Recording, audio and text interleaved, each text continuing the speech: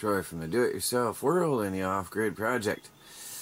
The top um, temperature is outdoors, and the bottom is in my office. We, what is this, June 4th? And um, this is after the normal um, danger of frost is over. We usually plant after Memorial Weekend, which we did. And uh, we had a freeze last night 31 degrees. And um, so we got frost, but we knew it was coming. We prepared for it, and I'll show you that in a little bit out here. Well, we did freeze.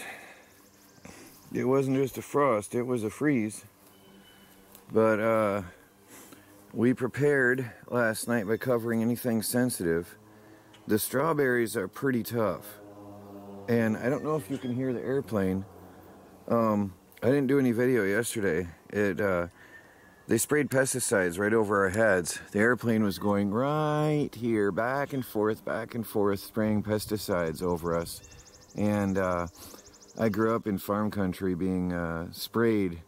we used to wave at the airplane. And uh, I grew up in farmland and sprayed over my head all the time. And we'd wave at the airplane, and that yellow fog would come over us, and we didn't think anything of it. But that's why I was always sick and had allergies. So anyway, yesterday I was put down hard. I was really sick.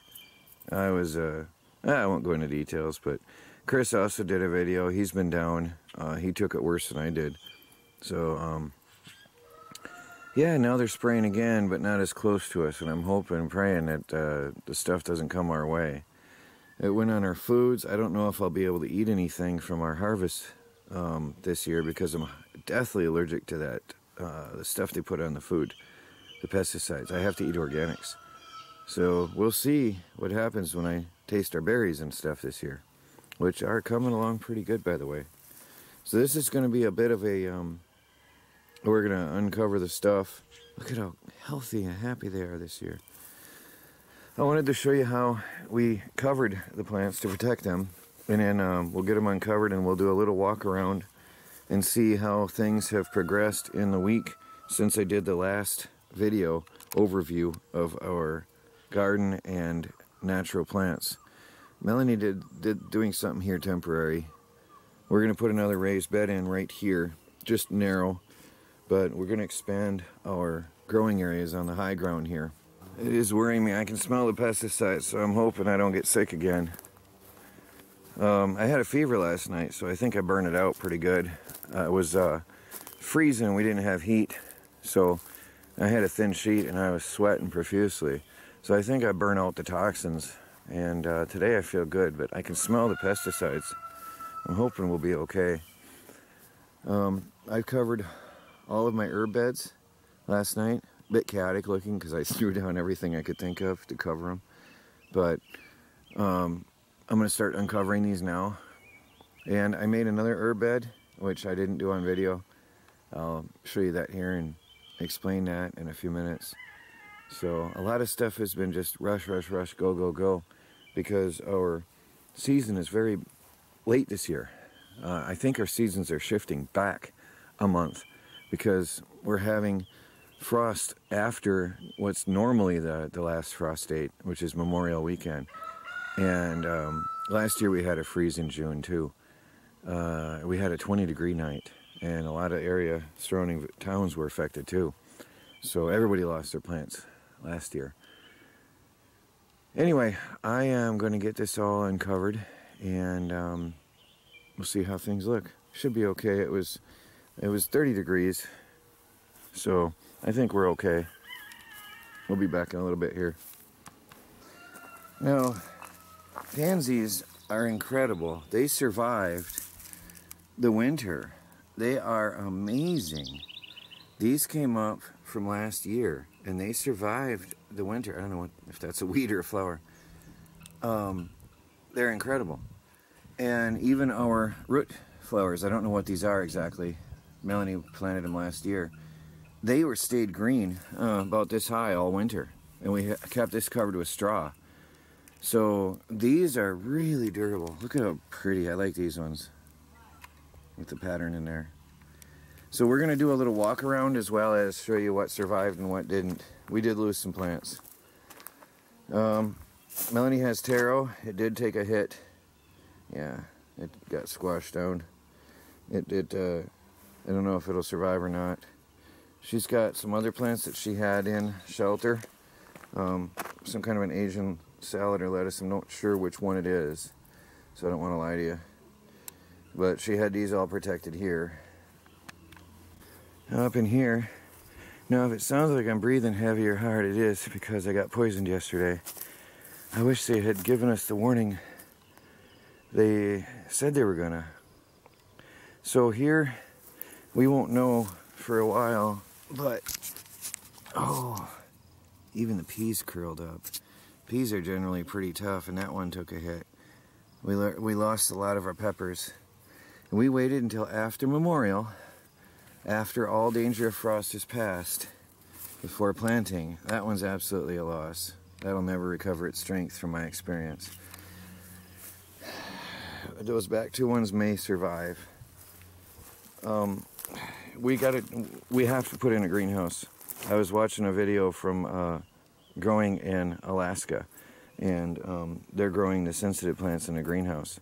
Our climate is changing, and uh, but it's changing colder, not warmer.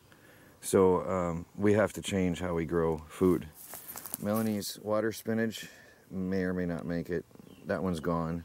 That one may be okay. That one's questionable. That one's gone. Um, all this was covered. Well, you saw that. We had beans, and I think we lost most of them. They look pretty bad. When they're dark colored and wilty,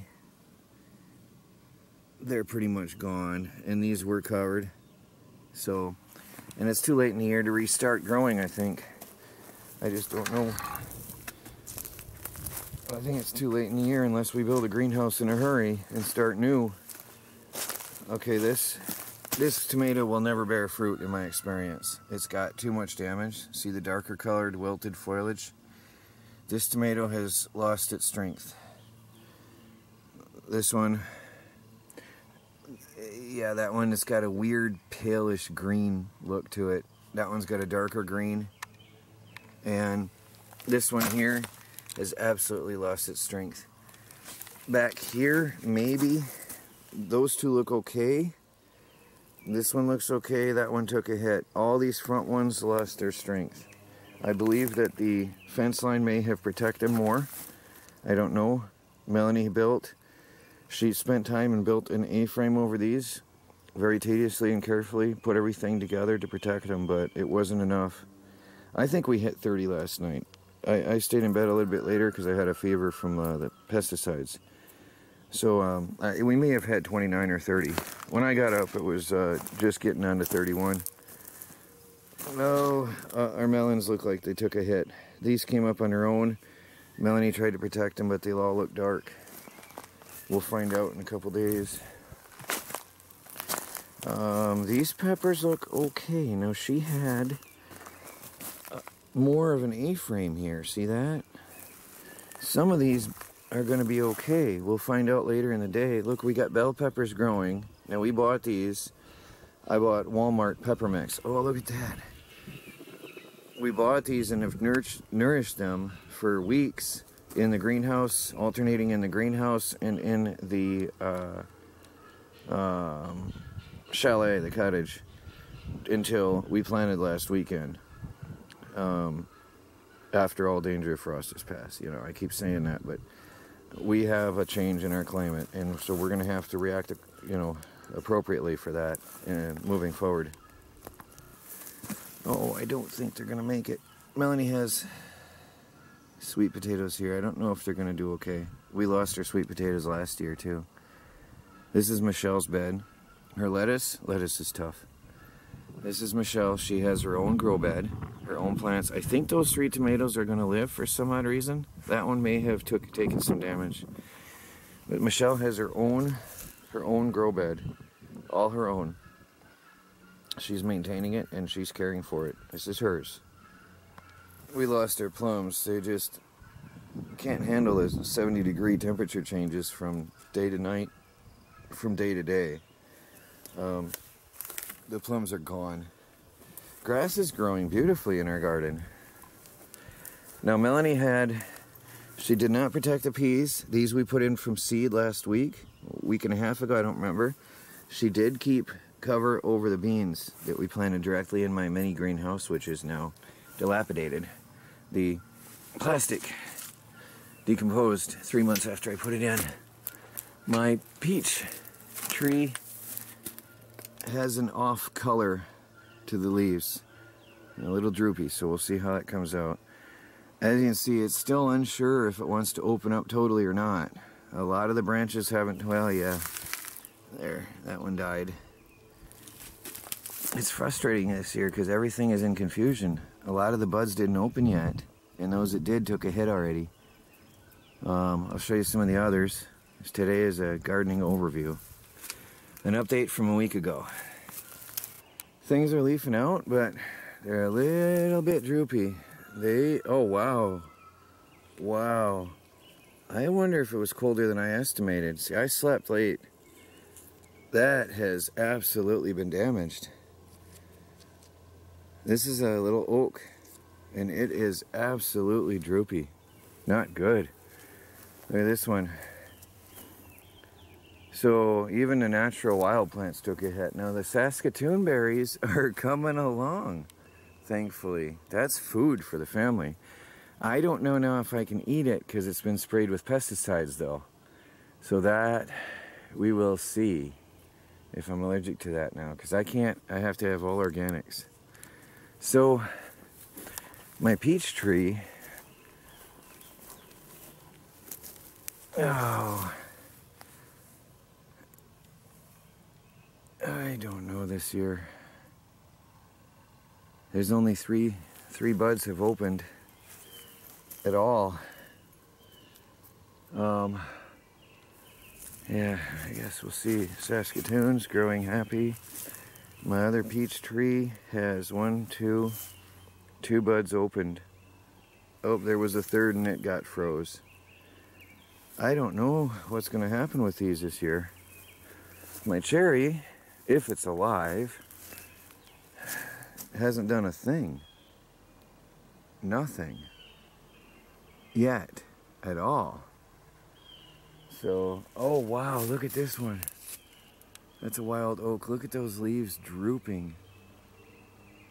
Oh wow, they it froze in here last night. I hope that shows up the, the discoloration of that. It froze last night. So a lot of things took a hit last night. This is a, a very off year. Look at this one. Brand new growth is just curling up and the sun is coming up now. Now my apples seem to be pretty tough. Now if there's any benefit to the pesticides, all those worms that have been eating my plants are uh, going to be killed. Of course, it'll probably kill all the good stuff too. I have no idea what side effects that's going to have, that spraying. Um, there's a lot of holes in my plants from those uh, tent caterpillars, they're called. Um, this branch doesn't look good at all. I don't know what got that. But the apples seem pretty hardy. This tree always stands strong. And we got little apples forming. Oh, I'm so happy. If, as long as the pesticides don't get me. Hopefully it's early enough it won't affect me. But these are these are strong. This is a strong tree. We got hopefully those flowers will turn into apples. We definitely have some apples forming. Let me take you to the other part of the orchard. That drooping wild oaks. This one, look at them drooping. Oh, look at that one. Just really, I don't know if they'll recover. Now, last year they did re, re leaf out after they lost their leaves, so we'll see what happens. I'll keep an eye on it. But over here, I'm working on my new entrance gate to my orchard. I gotta saw out some lumber. Let me get through here.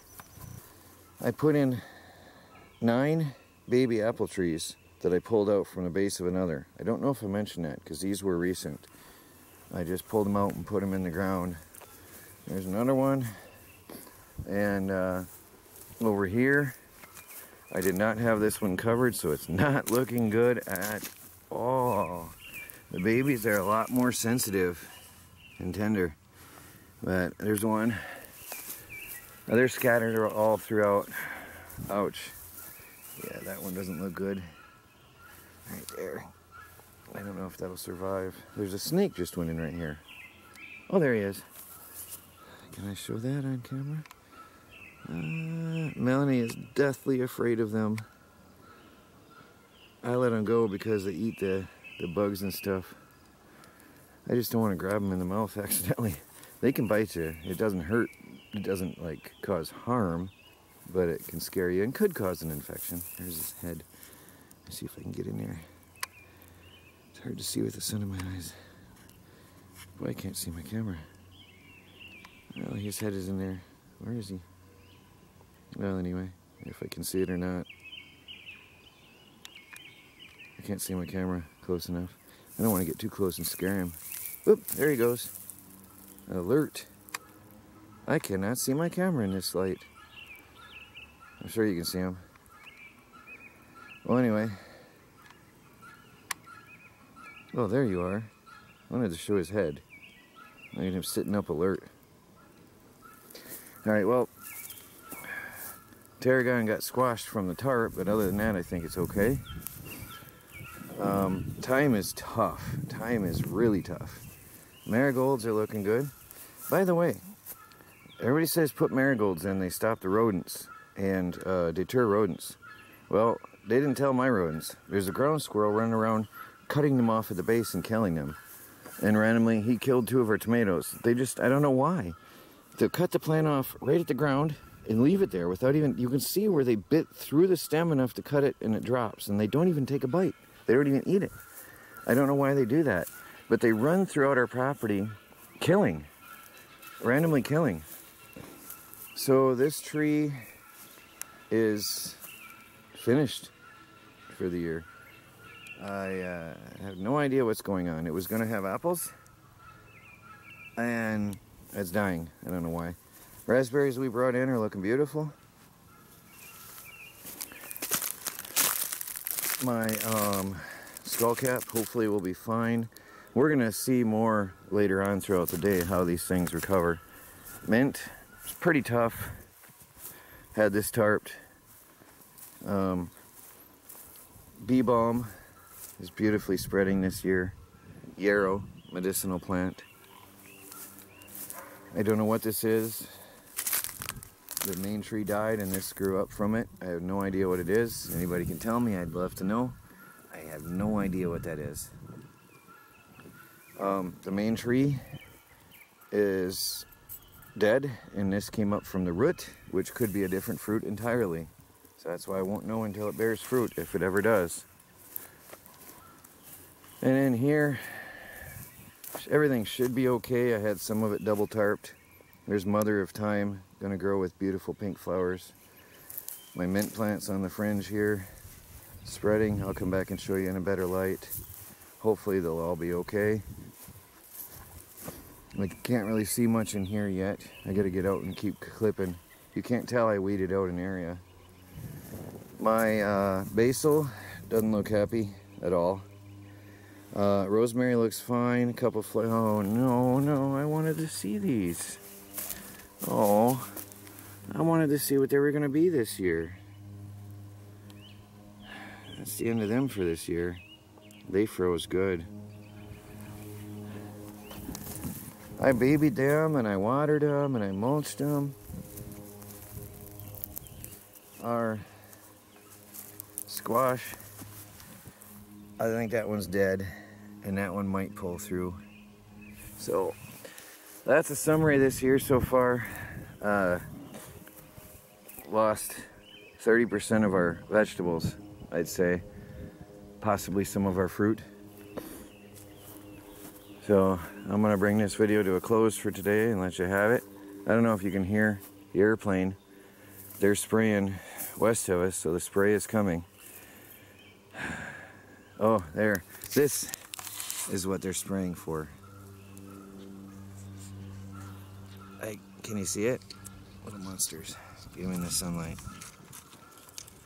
This is what it's all about. They are destructive. I uh, try to fight them by hand. On my fruit trees, I don't like pesticides myself. I try to fight them by hand. Um, and keep my food natural. We did have, they're all gone. Oh, bummer. We had a bunch of apple blossoms. I don't see any sign of any apples anymore at all. Why? There's another worm. I'm not going to show you my processing of it. Um, they're all gone. Where'd they go? I had apple blossoms. Here's a couple. I don't know if I can get you light. I don't know if they're gonna make it. They look pretty rough. This whole side is all gone. I have no idea where they all went. There's no trace that there was ever apple blossoms on this tree. Just a couple left. I'm really hoping to see what this is gonna be. This is one that uh, we brought home when we first moved here. And it was starting to grow better and better, and it's starting to bear fruit. Well, was gonna. It all went away. It's just too brutal, this uh, conditions this year. My raspberries, that's a waste of money right there. Uh, blueberries, I think that's dead. That was a waste of money. The blueberries got killed. I had four blueberry plants in here that we just bought last weekend. Um, I don't think, I think, yeah, that, that's dead. That's done.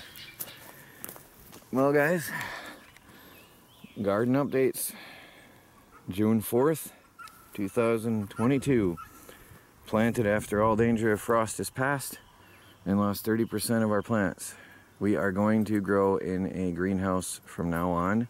My decision is made. I will tell you my plans in another video coming soon. Well, life is harsh out here. We got to adapt and deal with it, and that we will do. Please like this video and subscribe if you haven't. You never know what's coming to the homestead tomorrow. This is Troy from the Do It Yourself World and the Off Grid Project. Talk to you all later.